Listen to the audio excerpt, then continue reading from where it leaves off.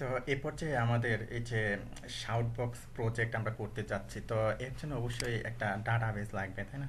তো অবশ্যই আমাদেরকে একটা ডাটাবেস তৈরি করে নিতে হবে, ছোট প্রজেক্ট যেহেতু। তো ডিজাইন যেহেতু আর লাগছে না, আমি কি করে দিচ্ছি? আমার পিক্সিটাকে আমি রিমুভ করে দিচ্ছি ওকে ওকে ফাইন তো ধরুন এখানে যে কাজটি করতে হবে, আমার যে পিএইচপি মাইডবিন আমি গেলাম, তো পিএইচপি মাইডবিনে যাওয়ার পর ধরুন আমি একটা ডাটাবেস ক্রিয়েট করে নেব। ডিপি আন্ডার স্কোর সাপোজ আমি দিলাম যে শাউট শাউট বক্স জাস্ট এরকম আমি দিলাম যে DP underscore shout box আমি একটা ডাটাবেস ক্রিয়েট করে নিলাম। তো এটা কোথায় চলে গেছে? এখানে কিন্তু এটা চলে গেছে যে শাউট বক্স ওকে তো এখানে আমরা যে কাজটি করব, আমরা একটা টেবিল তৈরি করে নেব যে টিভিএল আন্ডার স্কোর সাপোজ আমি দিলাম যে বক্স ওকে তো ধরুন এতে আমি তিনটা ফিল্ড অথবা চারটা ফিল্ড দিলাম যে এখানে ধরুন কি কি লাগছে আমাদের, অবশ্যই এটা দেখে আসতে হবে। নেম লাগবে বডি লাগবে ওকে ফাইন ধরুন আমি প্রথমে দিলাম যে আইডি ওকে আইডি দিলাম, তারপরে ধরুন আমি নেম দিলাম এখানে। তো নেম দেওয়ার পর ধরুন আর যা যা লাগছে। বডি দিলাম, তারপরে ধরুন টাইম কোন সময়ে করল? কারণ আমরা এখানে কি করেছি? ডিজাইন করেছি, কিন্তু এই যে অ্যাকচুয়ালি এটা না। এই যে টাইম কিন্তু আমরা নিয়ে নিয়েছি এখানে, তাই না?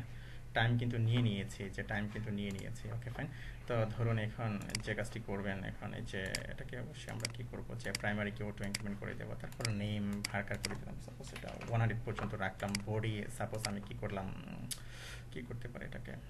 ট্যাক্স করে দিলাম, তো এটাকে জাস্ট যে কাজটি করব, যেমন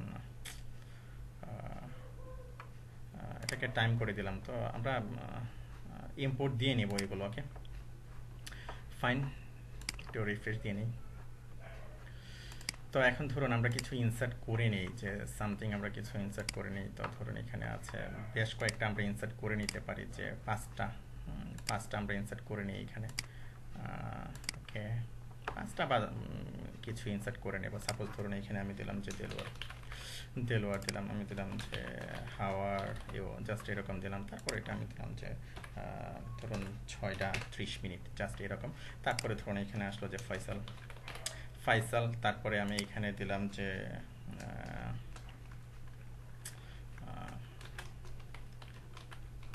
I am going suppose I am going campus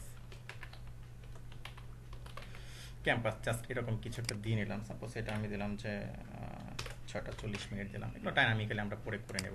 তারপর আমি দিলাম এখানে কাউসার কাউসার সাপোজ আমি দিলাম যে এখানে আই এম অনলাইন জাস্ট আমরা আমাদের মতো করে করছি ওকে তারপরে এখানে ধরুন আমি দিলাম যে সাতটা পনেরো মিনিট ওকে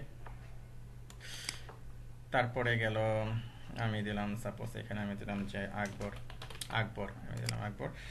তারপর আমি দিলাম যে জবিস বোর্ড জাস্ট এরকম আমি একটা দিয়ে নিলাম। সাপোজ আমি দিলাম যে আটটা ত্রিশ মিনিট ওকে তারপরে থাক, আপাতত এ পর্যন্তই থাক, আমরা কি করছি এটাকে এক্সিকিউট করছি। তো এখানে চলে আসলো। তো ধরুন এই যে আমরা একটা দিয়ে নিই সমস্যা নেই। তো আমরা এগুলো দিয়ে নিলাম অর্থাৎ আমরা কিছু ইনসার্ট করে নিলাম এখানে যে, আমাদের যে ডাটাবেসটা আছে ডাটাবেসের মাঝে আমরা কিছু ইনসার্ট করে নিলাম। তো এগুলো অ্যাকচুয়ালি আমরা ডাইনামিক্যালি করব। ডাইনামিক্যালি আমরা ইনপুট দিয়ে যেমন ধরুন এই যে, এখানে যে ইয়েটা আছে, তো এই যে এখানে ফিল্ডগুলো আছে যেমন নেম বডি তো এগুলো অ্যাকচুয়ালি আমরা এসটিএমএল ফাইভ দিয়ে আমরা কি করেছি ফিল এডিশন করে নিয়েছি। আমি আগেই বলেছি যে আমাদের এই যে এখানে যে প্রজেক্টগুলো আছে, যে ব্লগ ই কমার্স এগুলো যখন দেখবেন, এগুলো অ্যাকচুয়ালি ফিল এডিশন করা আছে। আর ব্লগ প্রজেক্টের পরে এটা আমরা এখানে রাখব। কারণ কি, অনেকের অনেকেই বলছে রিভিউ দিচ্ছে বেগেনারা যে একটু কেমন কঠিন কঠিন লাগে। যার কারণে আমি জাস্ট এইখানে এই প্রজেক্টের মাঝে আমি প্রসিডিওরগুলো দেখাবো, যে ক্লাস তারপরে ফাইল লাইব্রেরি যেগুলো আছে, এগুলো নিয়ে আপনি কীভাবে কাজ করতে পারেন। সিম্পল একটা প্রজেক্টের মাধ্যমে সিম্পল প্রজেক্ট ওকে ফাইন তো এখন আমরা যে কাজটি করেছি, আমরা জাস্ট ডাটাবেসটা এখানে তৈরি করে নিয়েছি, তাই না?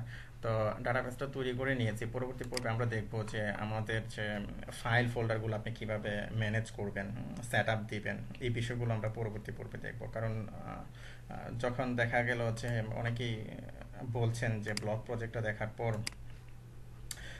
ই কমার্স প্রজেক্টটা মানে কিছুটা ইয়ে হয়ে যায়, তাদের কাছে কিছুটা অগোছালো অগোছালো রাখে। তো ওইখানে আবার অন্যরকম একটা সেট আপ দেয় মানে ফুল দেখা গেল যে ওপি কীভাবে করে অর্থাৎ কনফিগারেশনটা কীভাবে করতে হয়, এখানে, ওইখানে দেখানো হয়েছে। তো এখানে জাস্ট একটা ছোট একটা প্রজেক্টের মাধ্যমে জাস্ট ওই কনফিগারেশনগুলো দেখানো হচ্ছে, যাতে আর ওই রকম একটা খটকা না লেগে যায় নতুনদের জন্য। ওকে ফাইন ধন্যবাদ।